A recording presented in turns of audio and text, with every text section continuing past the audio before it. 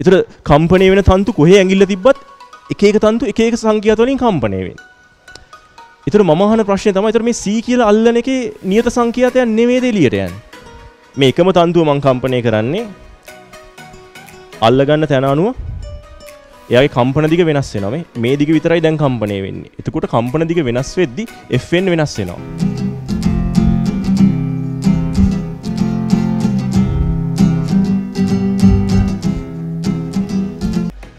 දැන් පළවෙනියට මේ මට සින්දු කියන්න බෑ. හරි. දැන් සින්දු කියන්න පුළුවන් නම් මම ඒක කරනවානේ මේක කරන්න නැතුව. හරි. සින්දු කියන්න බෑ. දැන් මොකක් හරි ගහන්නත් එපයි. ඒ හින්දා මම මොකක් හරි මේ ගහන්න try එකක් දෙන්න මං හිතලම වරද්දලා ගහන්න එක. මට බැරිකමට නෙවෙයි. හරි.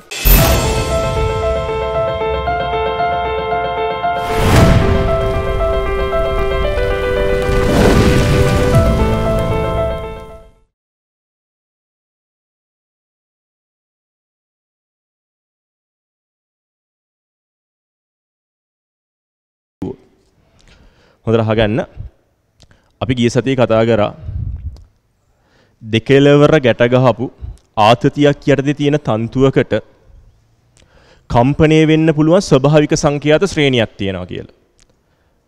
හරිද? ඒකේ මූලිකම එක අඩුම අගේ අපි කිව්වා මූලික ස්වරය. එහෙම නැත්නම් අපි ඒකට කිව්වා පළමු ප්‍රසංවාදය කියලා.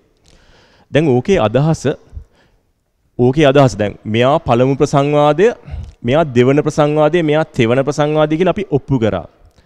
ඒ කියන්නේ මොකද්ද? ඒ කියන්නේ මේ පුඩු දෙකක් සහිතව මේ දිග ඒ ආතතියක් යටතේ තියෙන ඒ දිග පුඩු දෙකක් සහිතව ඒ තන්තුවම කම්පණය වෙන්න දෙන්න ඕන සංඛ්‍යාතය මෙයා වගේ දෙගුණයක්.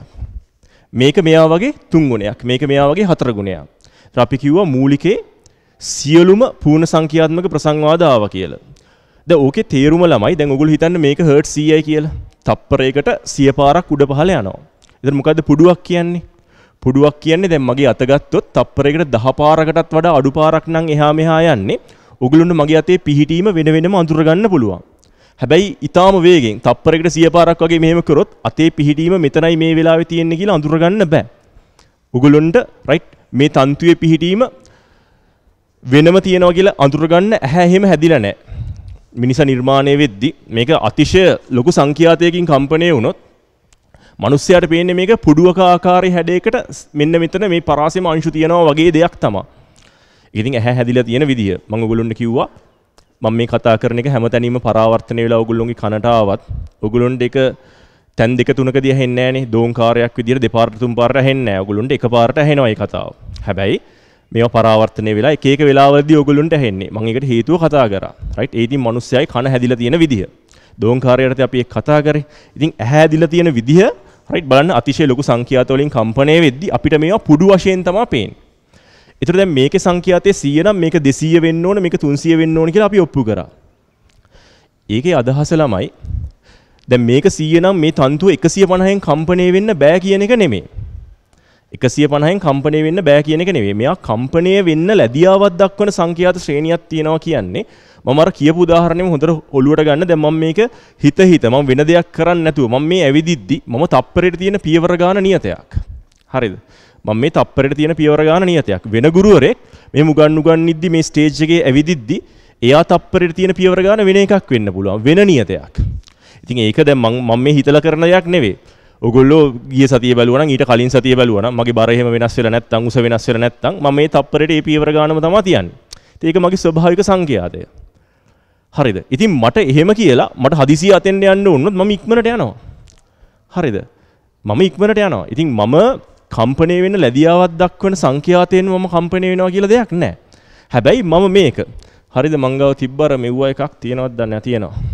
මේ තියෙන්නේ පික් එකක් වගේ එකකින් හරි මෙන්න මේ වගේ කෑල්ලකින් මම මේක කම්පණය කරලා අතහැරියොත් කම්පණය කරලා අතහැරියොත් මෙයා කම්පණය වෙන්නේ යා කම්පණය වෙන්න ලැබියාවක් දක්වන මේ සංඛ්‍යාත වලින් එකකි. දැන් මේකේ මම ඔයගොල්ලොන්ට කියන්න යන්නේ මේ තන්තුව මම මේ මේක මෙහෙම කම්පණය කරොත් මේ පික් එකෙන් නිකන් කම්පණය කරොත් එයා කම්පණය වෙන්නේ ළමයි මේ මොකක් හරි නියත මේ අපි හැදුවේ නියත පුඩු ගානක් හදලා කම්පණය වෙන්නේ. හරිද?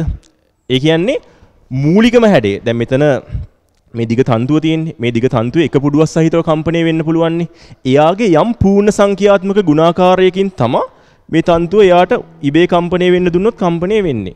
අපි බලෙන් අල්ලලා කම්පණය කරන්න පුළුවන් අපිට ඕන එකෙන්. එහෙම නෙවෙයි. හරි. එයාට ස්වභාවික එයාට ඉබේ කම්පණය වෙන්න දුනොත් ඒකෙන් කම්පණය වෙන්නේ. දැන් හොඳට අහගන්න මම මේ කියන කාරණේ. හොඳට අහගන්න ඕනේ මම මේ කියන කතන්දරේ. හරි. බලන්න මම ඕගොල්ලොන්ට ගිය සතියේ කිව්වා ඒගොල්ලෝ කම්පණයේ වෙන්න කැමති සංඛ්‍යාත ස්වභාවික සංඛ්‍යාත. කම්පණය වෙන්න කැමතියේ මූලිකම සංඛ්‍යාතේ පූර්ණ සංඛ්‍යාත්මක ගුණාකාර විදිහට එනවනම්. මේක මෙයා වගේ දෙගුණයක් ආවා මේක මෙයා වගේ තුන්ගුණයක් ආවා සේරම පූර්ණ සංඛ්‍යාත්මක ගුණාකාර ආවා. ඒක මම කිව්වා ඒ වගේ දේවල් සංගීත භාණ්ඩ විදියට සුපිරි කියලා. කන් කළු වෙන හඩක් එනවා කියලා කිව්වා. ඔයගොල්ලන්ට මතකයි හරි. එතන මූලිකයේ කීවෙනි ගුණාකාරයද කියන එකට අපිට අපි කිව්ව ප්‍රසංවාද අංකය එතන මූලිකයේ සියලුම පූර්ණ සංඛ්‍යාත්මක ප්‍රසංවාද ආවොත් සුපිරි සංගීත භාණ්ඩයක් හදාගන්න පුළුවන් ඒකේ. එතකොට මේ තන්තු 6 ඉන්නේ ළමයි විවිධ ආතති යටතේ. හොඳට මතක තියාගන්න මේ තන්තු 6ේම දිග ආසන්න වශයෙන් එකම අගයක්. දැන් ඔයගොල්ලොන්ට පේනවා මෙතන ඉඳලා මෙතෙන්න තියෙනවා මෙතන ඉඳලා මෙතෙන්න තියෙනවා වගේ පෙවුනට මේ වගේ කම්පන දිග මෙන්න මෙතනින් ඉවර වෙනවා. මෙහි කම්පණය වෙන්නේ නැහැ ළමයි. මේ මෙතන ඉඳලා මෙතෙන්ට තමයි තන්තු තියෙන්නේ. ඒතර මේ තන්තු 6ෙම දිග ආසන්න වශයෙන් සමානයි කියලා ගන්න පුළුවන්. දැන් එන්න මේ සමීකරණයට. තන්තු 6ෙම දිග ආසන්න වශයෙන් සමානයි. හැබැයි තන්තු 6 ඉන්නේ විවිධ ආතති වල. ඉතින් මේ ආතති වෙනස් කරන්න පුළුවන් මේ වගේ. දැන් ටියුන් කරනවා කියලා මම ප්‍රධාන වශයෙන් කරන්නේ ඕක. ගිටාර එක, රයිට්? ආතති වෙනස් කරන්න පුළුවන්. එතකොට මේ මොකද්ද? තන්තුවේ ඒකක දිගක ස්කන්ධය. ඒකක දිගක ස්කන්ධය. හරිද? එතකොට ඔගොල්ලෝ මම කිව්වා ඒකක දිගක ස්කන්ධය ලියන්න පුළුවන් කියලා හරස්කඩ වර්ගඵලයේ වාරයක් ඝනත්වය. පයිර් වර්ගය වාරයක් D මතකන හරි එතර මෙතර D කියන්නේ ගනත්වේ සාමාන්‍යයෙන් අන්න වැදුන රයිට් සාමාන්‍යයෙන් මෙන්න මේ සෙට් එකේම එකම ද්‍රව්‍යයෙන් හදලා තියෙන එකම ද්‍රව්‍යයෙන් හදලා තියෙන. ඒතර ඝනත්වය එකම අගයක් වගේ තියෙනවා ආසන්නව. හැබැයි මෙන්න මේක හීනි තන්තුවක් මෙහෙට එද්දි ඒගොල්ලොන්ගේ හරස්කඩ විශ්කම්භය වැඩි වෙනවා. හරස්කඩ අරය වැඩි වෙනවා. ඒ කියන්නේ මොකද්ද වෙන්නේ? ඒ කියන්නේ ඒකක දිගක ස්කන්ධය මේ තන්තුවෙන් තන්තුවට වෙනස්. දැන් කොහොමද මේකෙන් මෙච්චර ලස්සන සද්දයක් ඇහෙන්නේ? මම මේක ගහන්න ගියොත් ලස්සන සද්දයක් ඇහෙන්නේ නැති වෙන්න පුළුවන්. හැබැයි මේක අහලා තියෙනවනේ ටීවී එකේ රේඩියෝ එකේ මේක ගහදි ලස්සන සද්දයක් එනවා. හරි. ඒතර කොහොමද එන්නේ බලාගන්න. ඕගොල්ලොන්ට තේරෙනවා හරි දැන් මේකේ අල්ලන්නේ නැහැ කියලා දැන් කෝඩ්ස් මොනවත් අල්ලන්නේ නැහැ. කෝඩ්ස් මොනවත් අල්ලන්නේ නැතුව මම මෙහෙම ගහනවා. හරිද? ගෙදර ගිහිල්ලා බකට් කම්බි හයක් අරගෙන බකට් කම්බි හයක් අරගෙන ඇන හයක මෙහෙම දෙපැත්තේ ගහලා බලන්න ওই සද්ද එනවද කියලා. ওই සද්ද ඔහොම එනවද කියලා බලන්න. රයිට්. එහෙම එන්නේ නැහැ. ඒකට හේතුව මේවා නිර්මාණය කරලා තියෙන්නේ යම් සද්දයක් එනවා. යම් සද්දයක් එනවා හැබැයි මේ ඒක නිකන් පොඩි කික් එකක් තියෙනවා නේද ඒකේ රයිට් ඒකම එන්නේ නැහැ මේ වගේ ආතති ඒකක දිගක ස්කන්ධ මගින් තීරණය කරනවා ළමයි මේ තන්තු කම්පණය වෙන්නේ මොන සංඛ්‍යාතයෙන්ද මොන ප්‍රසංවාදයෙන්ද කියන එක. පුඩු කීයක් සහිතවද කියන එක තීරණය කරනවා. මේගොල්ලෝ ඉන්න ආතතියයි මේගොල්ලොන්ගේ ඒකක දිග ස්කන්ධයයි මත. දැන් අහගන්න මම කියන කතාව. හරිද? දැන් මම කියන කතාව. දැන් මේකේ මම කෝඩ්ස් ගහනවා කියලා මොකද කරන්නේ? හරි. මම අල්ලනවා C කෝඩ් එක. C කෝඩ් එක කොහොමද මෙහෙම තියෙන්නේ? මෙන්න මෙහෙම. හරි. කෝඩ් වල සංඛ්‍යාත වෙනස් නේද මේ? A. D. හරිද? ඔය වගේ අල්ලනවා මේ F. දැන් ඔගොල්ලොන්ට ඇහෙන සද්ද වෙනස්. හැබැයි අර පොඩි අර කික් එකක් තියෙන සද්දයක් ඇහුණා. රයිට් නිකන් කනට මිහිරි සද්දයක් ඇහුණා. හරි. එතකොට මොකද්ද කෝඩ් අල්ලනවා කියලා කියන්නේ? මෙන්න මේ සමීකරණේ මොනවද මම වෙනස් කරන්නේ? L නේද වෙනස් කරන්නේ? කම්පණය වෙන තන්තුව මම මෙතනින් අල්ලගත්තා කියන්නේ ඔයගොල්ලොන්ට තේරෙනවද හරි මේ ඒගොල්ලෝ මේවා වෙනස් වෙන්නේ නැහැනේ මම මේ අල්ලන තැන වෙනස් කරද්දි LF L එකයි L එක වෙනස් වෙද්දි ඔයගොල්ලොන්ට තේරෙනවා NF වෙනස් වෙනවා. ඒ කියන්නේ එයා කම්පණය වෙන සංඛ්‍යාතය ඒ තන්තුව කම්පණය වෙන සංඛ්‍යාතය එයා හදන පුඩු ගාන වෙනස් වෙනවා. හරි. එතකොට ඕගොල්ලෝ මේක ප්ලේ කරනකොට ඕගොල්ලොන්ට ඇහෙන්නේ එක එක තන්තු වලින් එක එක ප්‍රසංවාද හදලා අපිට කියන්න බෑ දෙන්නෙක් එකම සංඛ්‍යාතයකින් කම්පණය වෙනවා කියලා. එක එක තන්තු එක එක පුඩු හදලා එක එක සංඛ්‍යාත වලින් කම්පණය වෙන සද්ද ටිකක් තමයි ඔයගොල්ලොන්ට ඇහෙන්නේ. හරිද? දැන් මෙතන පොඩි ප්‍රශ්නයක් තියෙනවා. මේ එක එක සංඛ්‍යාත වලින් කම්පණය වෙන සද්ද ටිකක් ඔයගොල්ලොන්ට ඇහෙන්නේ. මෙතන පොඩි ප්‍රශ්නයක් තියෙනවා. දැන් මෙතන මියුසික් කරපුවා ඉන්නවනේ. මියුසික් ඉන්නවා සුපිරි. මේ ගහන්න පුළුවන් කවුරු ඉන්නවද? ඩෙස්ක් එක උඩ තියන අතත් පල්ලෙහාට දානවා. ගහන්න පුළුවන් කවුරු ඉන්නවද? හරි මේකේ පොඩි ප්‍රශ්නයක් තියෙන මියසික් කරපුය දන්න ඇතින. දැන් එතකොට මේක මංහන ප්‍රශ්න තමා ඔගොල්ලොන්ගෙන් මේක දනිමානයේදීත් වැදගත් වෙනවා. ඉළඟට තියෙන ප්‍රක්ටිකල් එක.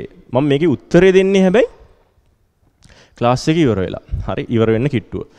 මහන ප්‍රශ්නය තමා මේක. දැන් අපි මේ කෝඩ් එකක් කියලා අල්ලනවනි සී කෝඩ් එක කියලා ගහනවනි. F කෝඩ් එක කියලා මොකක් හරි ගහනවනි. හරිද? මං අහන ප්‍රශ්නේ තමයි මොකක්ද ඒ ඉතින් දැන් C කෝඩ් එක නම් ඕගොල්ලොන්ගේ ඔළුවේ වැඩ කරනවා ඇති සාමාන්‍යයෙන් C සංඛ්‍යාතයේ 100කට අනුරූප සංඛ්‍යාතයක් ඇහෙන්න ඕන කියලා. දැන් සාස්වරයක් කිව්වොත් එහෙමනේ. දැන් මම ඕගොල්ලොන්ට පැහැදිලිවම කියලා දුන්නා මේගොල්ලෝ ඉන්නේ එක එක ඒකක දිගක ස්කන්ධ වෙනස්. එක එක ආතතිවල ඉන්නේ. ඒතර කම්පණය වෙන තන්තු කොහේ ඇඟිල්ල තිබ්බත් එක එක තන්තු එක එක සංඛ්‍යාත වලින් කම්පණය වෙන්නේ. ඒතර මම අහන ප්‍රශ්නේ තමයි ඒතර මේ C කියලා අල්ලන එකේ නියත සංඛ්‍යාතයක් නෙවෙයිද එළියට යන්නේ. F එකේ නියත සංඛ්‍යාතයක් නෙවෙයිද එළියට යන්නේ. ඕන දැන් කෙනෙකුට හිතෙනවා සර් මෙහෙම වෙන්න බැයිද? සංඛ්‍යාත 6ම එකතු වෙලා සම්මිශ්‍රණය වෙලා සුපිරි එකක් යනවා වෙන්න පුළුවන්. ඒකට C කියනවා. එහෙම සංඛ්‍යාත එකතු වෙලා අමුතු ඒවා හෙන්නේ නැහැ නේ බා. රයිට්? දැන් කොළඹ ඉඳන් එනවා හිරු FM එනවා ශ්‍රී FM එනවා ශ්‍රා FM එනවා ඔක්කොම FM ඇවිල්ලා මෙහෙට ඇවිල්ලා එක මොකක් හරි එකක් දැහෙන්නේ අපිට. එහෙම වෙන්නේ නැහැ. හරි? සංඛ්‍යාත කියන එක දැන් අර අදිෂ්ඨාපන අනම්මනම් වල අපි කතා කරා විස්තර වෙනස් වෙනවා කියලා. සංඛ්‍යාත වෙනස් වෙන කතාවක් කොහේ හරි කතා කරාද? සංඛ්‍යාතය තමයි තරංගයේ අනන්‍ය වෙච්ච ලක්ෂණය. හරි?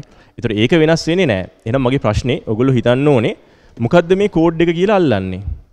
ඒක ඒ සොරය නෙවෙයිද? ඒ සංඛ්‍යාතය නෙවෙයිද? ඔයගොල්ලෝ ඉන්ටර්නෙට් එකේ බැලුවොත් හැබැයි C ගේ සංඛ්‍යාතයේ නියතගයක් තියෙනවා. ආ ඒක හිතන්න ඕන ප්‍රශ්නයක්. ඒක පොඩි පැහැදිලි කිරීමක් සහිත උසස් පෙළ අහන්නත් පුළුවන්. පොඩි පැහැදිලි කිරීමක් දෙයි හැබැයි මේක ගැන. ඒ ලෙවල් වල අහන්නත් පුළුවන් ප්‍රශ්නයක්. හරි. දැන් අපි කතාව එතනින් වෙන පැත්තකට අරගෙන යමු. රයිට්? ඒතර ඔයගොල්ලන්ට තේරෙනවා හරි ඒක හිතන්න ඕන එකක්. මොකද්ද මේ C කියන්නේ මොකද්ද මේ D කියන්නේ ඇත්තටම? හරිද? ඒක හොඳ හිතන්න ඕන. ඒතර ඔයගොල්ලෝ දැක්කා දැන් මේකෙන් එක දිගට ප්‍රශ්න අහලා තිබ්බා. එක දිගට බහුවර්ණ අහලා තිබ්බා. ඔයගොල්ලෝ දැන් ධ්වනිමානය කරපුවාම මේකෙන් ප්‍රැක්ටිකලුත් අහනවා. හරිද? ප්‍රක්ටිකලුත් අහනගොල්ලන්ට මම කලින් කිව්වා ඔගොලන්ට ගිහිල් යන ශේෂ්‍රය යනු දැන් අපි ඉංජිනේරින් ගියොත් ඔගොලන්ට තර්ඩ් ඩිය වගේ මියුසික් තෝරගෙන කරන්නත් පුළුවන්. එකට ඩිග්‍රිය ලකුණු ප්‍රමාණිකුත් එකතු වෙනවා. හරිද? එතට මේක මියසික් කියන තනිකර ඉංජිනීරින් පැත්තත් තම ෆිසික්ම තම බලන 3ඩියට් කියල ෆිල්ම් ඇත් තියෙන මං ගැහවා සම්පූර්ණ අවට් ගිය. හැබැයි ඕකේ ඒ ෆිල්ම් එක වැලුවත් කමක් නෑ ඒ ෆිල්ම් එක යන්නේ මේ ඉංජිනේරුව තුන්දනේ කතාවක් නයන්නේ කොමරි බලන්න එක දැන් දැන් මේ අස්සේ බලන් පිස්සුනරන්න යන්න එපා. රයිට් ඒ ලෙවල් ඉවර වෙලා මේ බොහොම රිලැක්ස් එකේ ඕක බලන්න. ඇත්තටම ඕක බලද්දි ඔයගොල්ලන්ට මතක් වෙයි මෙහෙම සීන් එකක් කිව්වා නේද කියලා. රයිට් ඒතර ඒ ලෙවල් හොඳට කරගත්තොත් ඕක ගැම්මට බලන්න පුළුවන් නේ. හරි සතුටින් බලයි ඔයගොල්ලෝ. රයිට් හැබැයි ඒ ලෙවල් අවුල් කරගත් ඒත් බලනවනේ. ඒ ලෙවල් අවුල් කරගත්තත් ඉතින් ඒත් බලන ඒ ජීවත් වෙන්න එපා ජීවිතය අරන් යන්න එපා ඒත් බලනවා. හැබැයි බලද්දි හිතේ ඉන්නේ ටිකක් පොඩි වේදනාකාරී ගතියක් එයිනේ. මට මේක කරගන්න තිබ්බනේ කියලා. ඔක නිකන් සෑහෙන කාලයක් යනකම් ඔක වද දෙනවා හිතට. රයිට්? ඒ හින්දා මේ දේවල් තමන්ගේ කරගන්න. රයිට්? වයලින් එක ගත්තොත් හරිද වයලින් එකේ තන්තු හතරක් තියෙන්නේ. තන්තු හතරයි තියෙන්නේ. වයලින් එකේ තන්තු හතරයි තියෙන්නේ. එතකොට වයලින් එකෙත් මේ කතන්දර මෙහෙම්ම අදාළයි. හැබැයි වයලින් එකේ C කෝඩ් එක ගහද්දි මේකේ C කෝඩ් එක ගහද්දි ඔයගොල්ලන්ට හඬේ වෙනසක් අල්ලගන්න පුළුවන්. එතකොට අපි ඒකට කියනවා එකම කෝඩ් එක ප්ලේ කරත් සංගීත භාණ්ඩ දෙකක අපිට පුළුවන් සංගීත භාණ්ඩ දෙක වෙන් කරලා අඳුරගන්න. ඒකට හේතුන ප්‍රධාන සාධකය මොකද්ද? විභාගයට අහන්න පුළුවන් පට්ට දැනක්. ඒකට හේතුන ප්‍රධාන සාධකය තමයි ඒ වගේ මිශ්‍ර වෙන උපරිතාන ගණන් වෙනස්. ඒ වගේ මිශ්‍ර වෙන ප්‍රසංවාද වෙනස්. හරිද? ප්‍රසංවාද වෙනස් වීම හේතුවෙන් මොකද්ද වෙනස් වෙන්නේ? අන්න ඒ වෙනස් වෙන සාධකයට අපි කියනවා ධ්වනි ගුණය කියලා. ධ්වනි ගුණය. එතකොට මේ A level ඉවර වුණාම right? A level ඉවර වුණාම දැන් මේ A level කරන කාලි ඔගුල්ලුන්ට නිකන් අර సౌందర్యාත්මක හැකියාව එහෙම ඇත්තටම කියනවා නම් අතෑරිලාම යනවනේ රයිට් ඒක ඉතින් අතාරින්න ඕන රයිට් එහෙම නැතුව ඒකයි මේකයි ඔක්කොම බදාන කරන්න බෑනේ. ඒ ලෙවල් ඉවර වෙලා ඔය গিitarයක් හරි මොකක් හරි දෙයක් පුරුදු වෙලා సౌందర్యාත්මක හැකියාව ආයෙ ගන්න බලන්න රයිට් ආයෙ පැත්ත ගන්න බලන්න රයිට් එතකොට ඒ පැත් නැතිවෙලා යන්න දෙන්න එපා. එතට මිනිහෙක් සම්පූර්ණ වෙන ඒ පැත්තකුත් තියෙන්න්න ඕන.